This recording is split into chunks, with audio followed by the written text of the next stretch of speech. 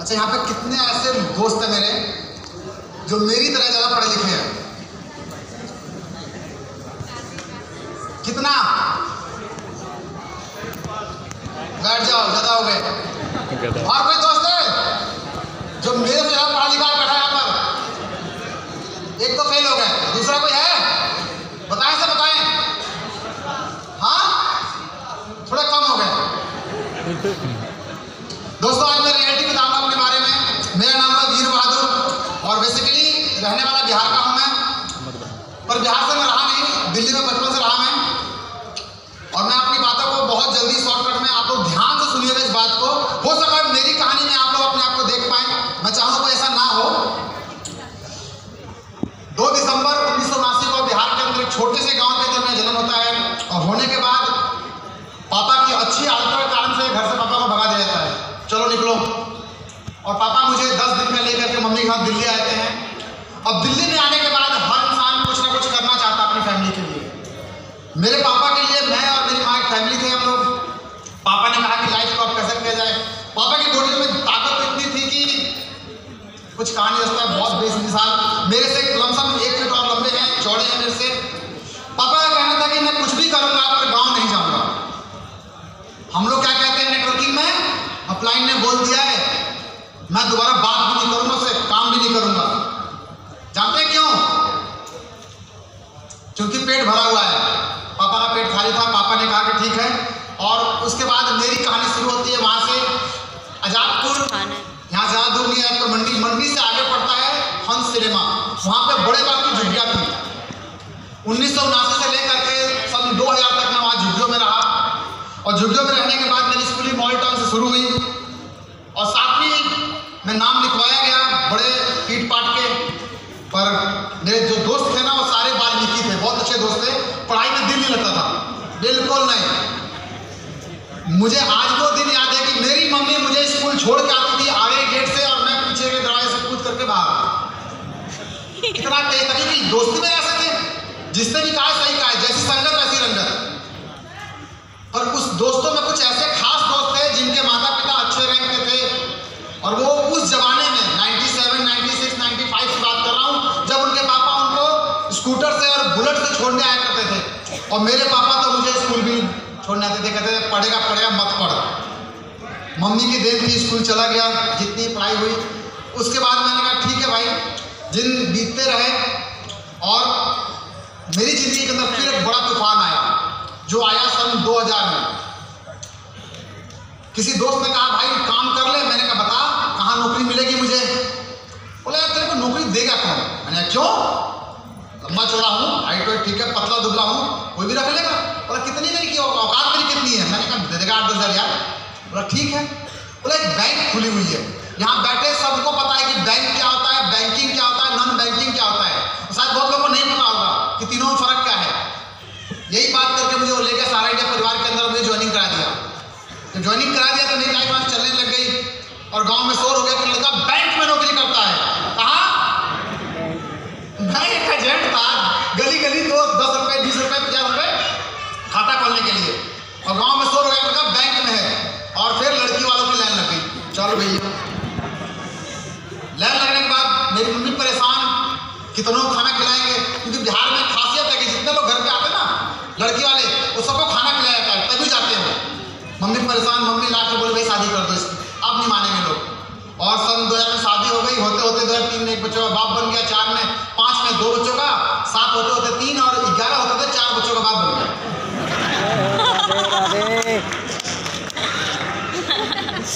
मैं उसी झुग्गी के अंदर रहते रहते 2003 में मैं बाप बन चुका था फिर वहाँ से करवट ने बदलाव लिया मौका मिला मुझे जब मैंने किसी ने कहा कि कंपनी आई है वो जोड़ने वाली मैंने कहा अच्छा ये पागल वाली कंपनी नहीं करना मैं सारे ने में खुश हूँ पर उस दोस्त ने मुझे उस कंपनी में ले गया ले नहीं गया कई बार चक्कर काटता रहा आए उसको खिला पिला घर भेज दूँ आए यही कहानी चलती रही छः महीने एक साल और फिर मजबूर मुझे करना पड़ा।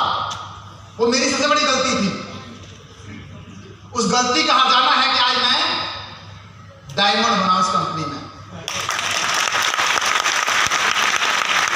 यहाँ पे काफ़ी अच्छे दोस्त हैं जो मुझे जानते हैं पुरानी कंपनी के जो सबसे मुझे ले गया था तो एक ही काम में ले गया था कि तुझे डायमंड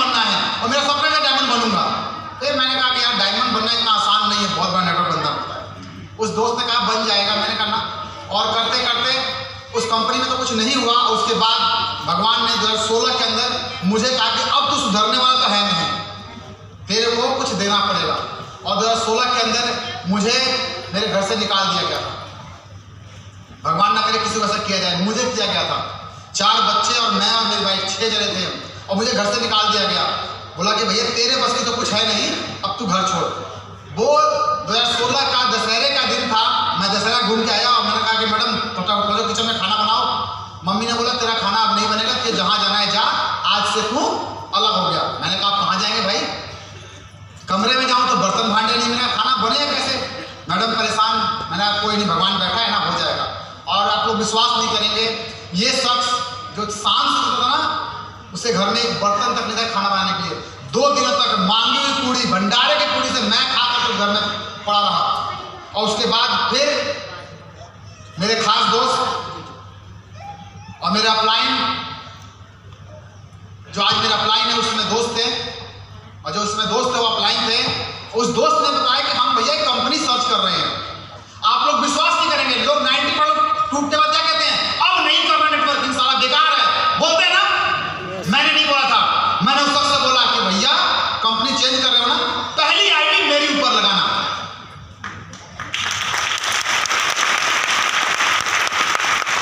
पहली आईडी मेरी ऊपर लगाना और भगवान की जैसे अनुज सर ने बताया कि भगवान वो खुदा वो आकर मिले। वैसे ही मुझे भी। मुझे मेरे दोस्त ने मेरा प्लान प्लान नहीं दिखाया इस कंपनी का। मुझे उसी भगवान ने प्लान दिखाया, जिस भगवान ने अनुज सर्मा को प्लान दिखाया था। और हम उस समय दस लोग गए थे। दस में से इस हॉल में बैठे ऐसे चार पाँच लोग हैं जो आज डायमंड के दायरे पहुँच चुके हैं। उस दस में से नौ लोग डायमंड से प्लस हैं। हमारी एक गलती और मेरी एक गलती कि मुझे करना है मेरे ऊपर लगा हुआ लगा दिए उसके बाद शुरू हुई मेन कहानी 2016 के दिसंबर के बाद मेन कहानी शुरू हुई। ना तो जेब में पैसा और ना ही कलेक्शन में कहीं ना ही कहीं जाए, जिसके घर जाए, वो जोड़ने वाला है ना, चल जाए जिसके घर जाए, मुझे वो वाक्य याद है, मैं और मनोज सर गए थे किसी का प्लान दिखाने, बंदर ने धक्का मारे घर से बाहर निकाला था। आपको किसी ने निकाला होगा, हमें निकाल दिया था। घर के बाहर गेट पे अपना बाहर निकल, चल। बते रहते तेरे से। हमने वो दिन देखा है। अगर आप ऐसे कुछ बोल देना तो मारपीट हो जाती है। मैंने कोई बात नहीं, दिन है इसके, धक्का मार लेने दो।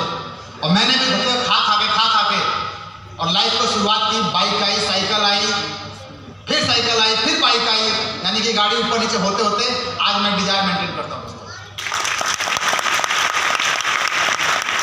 और डिज़ायर मेंटेन नहीं करता। जब लोग ना रोड पर खड़ी होती है ना, मैं देखता हूँ बाइक की चाबी बंद जाती है, और मेरे काफ़ी दोस्त जानते हैं। इस कंपनी से और अपलाइन के सपोर्ट के कारण से मेरी गाड़ी का इंजन नहीं बंद होता। जहाँ अगर खड़े हो गए मीटिंग चालू गाड़ी बैठ के तो इंजन चलता रहता है मेरे गाड़ी का। चाहे जितना पेट्रोल लग जाए, मैंने दो दिन देखा है। और आज इस कंपनी के अंदर डायमंड बनने का एक ही रीजन रहा। क्या जानना चाहते हैं? अगर जिनको डायमंड बनना है ना, वो अपने आप से कसम खाएँगे आज।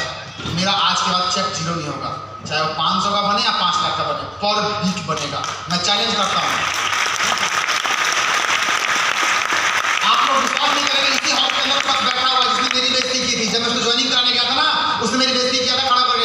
दिखा रहे हो चेक दस हज़ार, बीस हज़ार, पचास हज़ार, डेढ़ लाख का, रहन दो, पर हफ़्ते खाली जा रहे हैं। इस चेक को मैं नहीं मानता। पर बिग चेक बने, तब आप लीडर हो। तब आप पक्के डायमंड बन सकते हो, वरना नहीं बन सकते हो। मेरी बात समझ में आ रही किसी को? मेरा चेक जब मुझसे मिला था मैं तो मेरा चेक डेढ़ लाख का बन चुका था हफ़्ते का बीस का भी था हफ़्ते का पाँच का भी था और चार हफ़्ते खाली भी थे। उस व्यक्ति ने मेरी बेइज्जती की थी कि हर हफ़्ते चेक बने तो लीडर वरना कोई चांस नहीं है तुम्हारा डायमंड बनने का। मैंने उस दिन अपने आप को नोट किया मैंने कहा यार बंदा सही कह रहा है कि किसी भी लीडर के साथ बैठूँगा मैं किसी व्यक्ति से बैठूँगा दिखाऊँगा कि पर वीक मेरा चेक बना हुआ है तो ठीक है। खाली क्यों? इसका मतलब मैंने काम ही नहीं और मैंने इस बात कसम खाई और मैंने 500 का चेक के लिए अपने आप को टारगेट दिया कि आज के बाद मेरा चेक ज़ीरो नहीं जाएगा। 500 का बनेगा पर बनेगा, ज़रूर और आज दोस्तों उस 500 के चेक के लिए ना मैं एक डब्बा बेचा था एक डब्बा सुल्तानपुर छोड़ा था एक तुलसी कितने का आती है कितना इसकी तुलसी का है उसके लिए मैं मुकंदपुर से सुल्तानपुर या मुकंदपुर से जमुना पड़ जाता था दो एक तुलसी देने के लिए क्यों कि मेरा चेक 500 का बने हज़ार का तेल फूक कर 500 का चेक बनाने वाला मैं और आज आज हफ़्ते में हज़ार का भी तेल नहीं फूकता और लाख का चेक बनता है किसका हज़ार का तेल किसका नहीं फूकता मेरा नहीं फूकता तेल हज़ार रुपए का और चेक बनता है लाख रुपए का। और एक समय था चेक बनता था कितने का? पाँच सौ का। और चेक तेल फूकता था एक हज़ार रुपए का। कितना देर आया होगा? इस हॉल में बैठे ऐसे बहुत से मेरे दोस्त होंगे जिन्होंने को यहाँ पे लाने के लिए ना बताया कि चल फ्री में चल। तू 200 कम दे दियो। ज़बरदस्ती लेके आए होंगे। हैं ऐसे दोस्त ना? यस अपने आप को सोच के देखना दिल से भाई मेरे। मैं साफ़ हूँ जिसको नेटवर्क में डायमंड बनना है ना, आज की डेट लिख ले। और अपने खाते में पंद्रह हज़ार रुपए रख दे अलग से। एक